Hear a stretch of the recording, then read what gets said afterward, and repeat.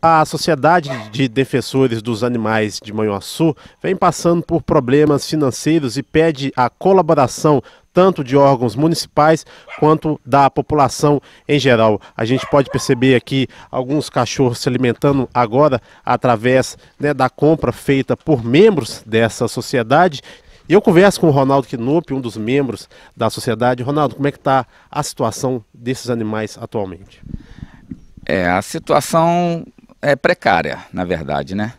Precisamos de, de alimentos, de remédios, precisamos castrar as cadelas, né? E o nosso caseiro não tem renda. Então a situação não é boa. Temos poucas ajudas. Prefeitura não ajuda, na verdade. E a situação é essa. Um aqui, outro ali, dou um saco de ração, outro saco. Eu compro um vermífugo, está até aqui no carro, vermífugo. E a situação é essa. Na verdade, precisamos muito da ajuda do, do povo de Manhuaçu. É, como, como eu disse para você, o, o povo quer ser protetor de animal, que é politicamente correto hoje em dia, né? Muito legal, mas ninguém quer contribuir. Então o pessoal faz até parte de, de grupo de WhatsApp, eu sou protetor de animal e tudo, mas na verdade não contribui.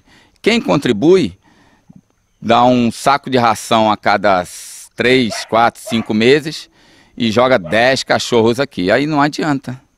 Não é verdade? Aí não adianta. É melhor não ajudar. Essa ajuda a gente não precisa. É a procura pelo poder municipal, vocês já fizeram esse, essa tentativa de encontro? Já houve conversações a respeito de uma melhoria para esses animais? Então, é, através do nosso presidente Admar, o Tuti, é, na administração passada havia conversas e ficou meio que na promessa. E a nossa esperança era muito grande nessa administração e já está na metade e até agora não aconteceu nada. Esperamos ajuda, porque isso é uma questão de saúde pública. As ruas da cidade estão infestadas de cachorro. E a reportagem também conversa com o Jânio Paulo de Melo, caseiro aqui da chácara onde esses animais estão abrigados. O Jânio, em conversa com o Ronaldo, ele nos informou que uma cadela foi morta. Ou seja, recentemente ocorreu a morte de um cachorro no Carrefour em São Paulo.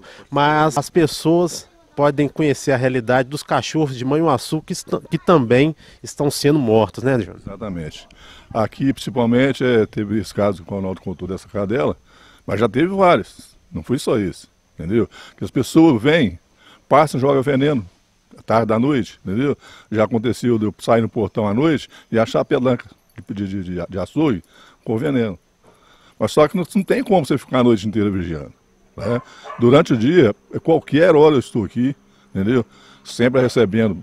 Quando, às vezes tem, tem esses filhotinhos foram abandonados na porta aqui. Não tem como você não deixar colocar para dentro, né? Porque passar fome, é, se ficar na rua, vai morrer de fome. Porque ninguém quer, entendeu? Cuidar. Igual o Ronaldo estava dizendo, nós tínhamos vários, é, é, se diz membro da associação, se diz, né? Que nem o pé aqui dentro põe.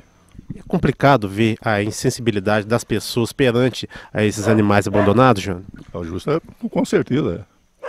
Porque o bichinho não, é, não, é, não, é, não sabe falar, não tem entendimento nenhum. E depois você pega carinho, principalmente esses aqui, esses que foram abandonados na porta aqui. Põe carinho com você de um jeito que até pra você doer pra frente, depois você fica sem jeito, entendeu? Cada coisa que tem vezes que emociona a gente, né? De você tratar ali, tratando dia, dia, dia, a pessoa chega e mata, entendeu? Igual a gente tem casos aí de pessoa parar no portão e matar, sem a gente ver, né? E aí é complicado, muito complicado mesmo. Aí espera, espera, igual usando a palavra do Ronaldo, que o pessoal chega numa, numa realidade que, que, querendo ajudar é fácil, rapaz. Entendeu? Não é só com dinheiro, não. A pessoa vai lá como um quilo de ração, dois quilos de ração, traz. Entendeu? Vem, ajuda a gente a dar um banho no cachorro, cuidar de um cachorro, entendeu? Pensa assim, é, do mesmo jeito que eu posso fazer, que eu faço, me dedico, igual o Ronaldo, esse poder dedica, qualquer um pode fazer a mesma coisa, entendeu? Sem maltratar, sem judiar, entendeu? Porque hoje uma pessoa vem aqui e me adota um filhotinho, ele levou bonitinho para casa. Ele esquece que a Maria vai crescer. Ele não vai ficar aquele filhotinho a vida inteira, né? Aonde que ele esquece. E acaba abandonando o bichinho no meio da rua, entendeu? Lá no meio da rua ele vai comer é, qualquer coisa que está podre no meio da rua ele está comendo. Aquilo é prejudicial à saúde deles, entendeu? Aqui, aqui vem para aqui, o pouco que a gente pode fazer, a gente está fazendo, entendeu? Mas esperamos que, que outros anjos tem aí possam vir nos ajudar.